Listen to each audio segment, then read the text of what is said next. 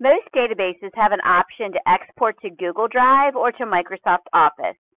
It's always best if you're already logged into Google Drive before you start this process, but if you're not, that's okay because it will ask you to log in once you try to export to Google Drive. In OneSearch, you first have to open up an article and then simply click on Google Drive. If you're logged in, it will automatically say, do you want to save it to Google Drive? Just click OK, and that article has been exported to Google Drive. In Gale databases, the process is almost exactly the same. Again, click on the link that says Google Drive and then simply say, yes, I want to export to Google Drive.